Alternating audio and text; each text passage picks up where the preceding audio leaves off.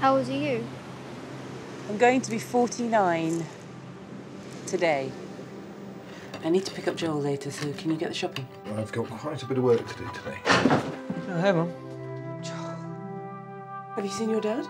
Yeah. You two okay?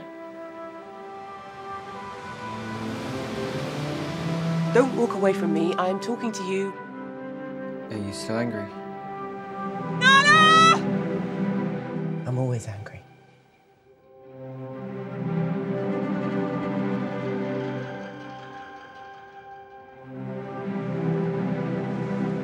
What are you doing for your birthday?